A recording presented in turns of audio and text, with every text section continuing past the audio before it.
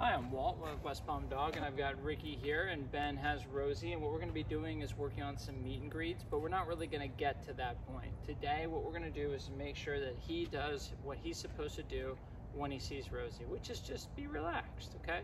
We're going to do some things we're just going to walk by each other, or Rosie is going to be stationary like she is right now, and I'm just going to walk Ricky around. The whole point is that Ricky understands that I'm more interesting and valuable than Rosie. And I do that with food. Ricky, you ready? Let's go, buddy.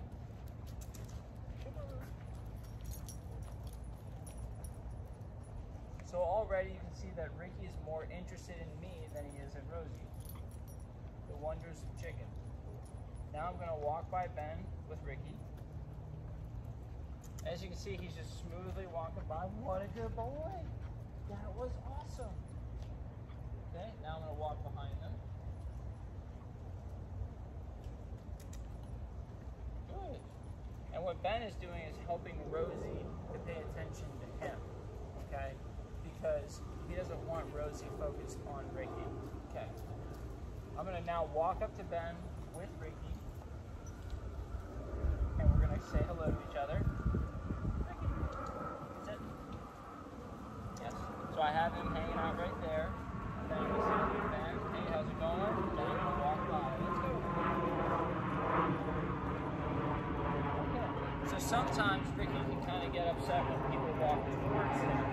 So in this case, all gonna do, gonna ask for obedience. I want more focus than anything, and then I want Ben to just approach me with.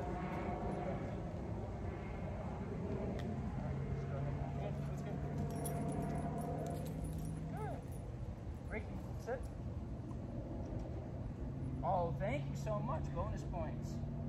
All right, then I can say hello to Ben. And as you can see, they are more focused on their handlers than they are on each other. That's perfect. So again, we're just helping Ricky understand that, you know, not every dog that he meets could be a potential friend or a potential threat.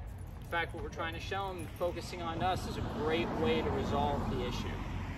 Good job, my man. Good job. You did awesome.